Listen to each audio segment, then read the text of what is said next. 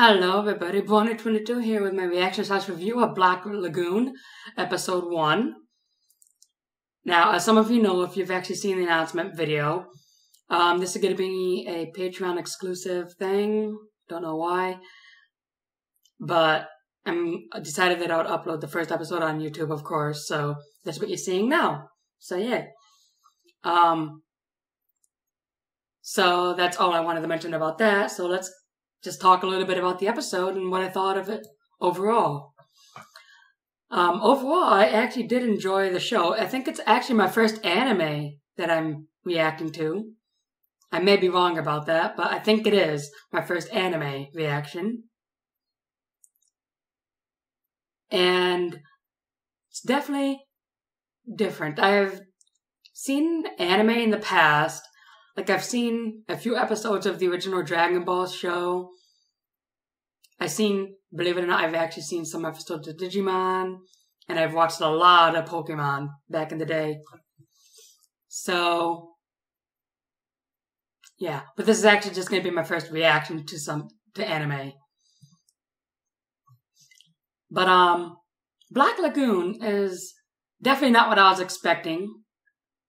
Um, like you know, the the first main plot about this is some pirates like kidnap some guy who's working at this big office building who has a very important CD that has some pretty bad information on it. Like really bad information on it that, you know, if the information ever got out in the public, the company would basically be ruined. However, the thing that I was definitely not expecting was all the guns in the show. That was definitely something different. Now, I knew there might be some guns in the show, but never that, like, it was extreme. Like, holy crap, there was a big shootout in a bar. Like, holy crap. Like, literally guns everywhere, people getting shot everywhere. Man, it's just crazy. Like, holy crap. This actually might be a bit shorter of a reaction slash review. Because, you know, a lot of interesting things. Like, there's a, like, that one guy that got, gets kidnapped by the pirates. He kind of has a little bit of a heart to heart with the, the leader, I guess. And the leader basically understands, you know? So it'll be kind of interesting interesting to see some more character development from him and like all the other people on this pirate crew. I don't know if I should say pirate crew. On this crew, I guess. Like crew of bad guys, let's just say. And it'll actually be very interesting to see like how he, how the character evolves throughout the show because right now he's kind of like being scaredy and stuff like that.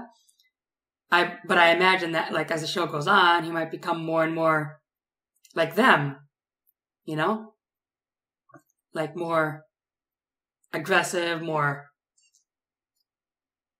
I don't know. So it's, it's actually going to be quite fun to see that, if that actually happens. And I have hopes that will happen. It is a bit of a shorter show and it is ended. But still, I, I do, I do, like, really enjoy it. And I've actually already reacted to episode two as of recording this.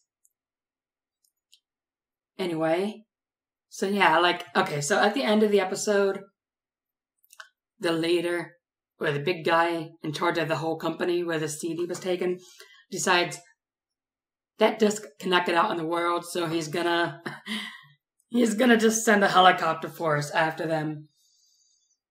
And that's basically where the episode ended. Like ended on a cliffhanger. I was like, what the heck? Why? Why? Um anyway, I did enjoy it. Definitely looking forward to reacting to some more episodes. Can't wait to see like what comes up next. And yeah, I guess you can all enjoy my reactions too. Anyway, that will be pretty much it for this. Be sure to let me know what you all think of this reaction. And I'll see you on my next video. Bye.